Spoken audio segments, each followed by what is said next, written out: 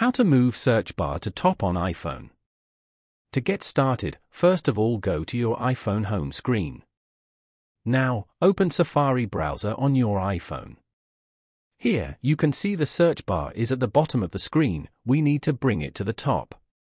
Minimize the application. Open Settings on your iPhone. Once you are on this page, scroll all the way to the end.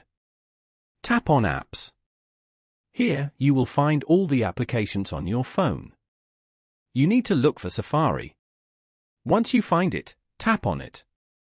Then, scroll down to this section. Select the option Single Tab from here. Once you're done, minimize settings and open Safari on your iPhone. You will find the search bar at the top of your screen. There you go, you have successfully moved the search bar at the top of your screen. So by following these simple steps, you can easily move the search bar at the top of your iPhone.